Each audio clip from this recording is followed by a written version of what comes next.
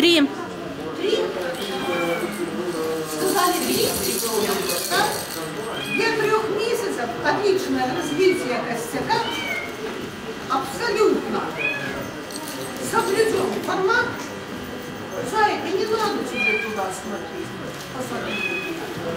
Роскошные круглые глаза, причем хорошо расставленные глаза. Они не излишне близко, они достаточно далеко.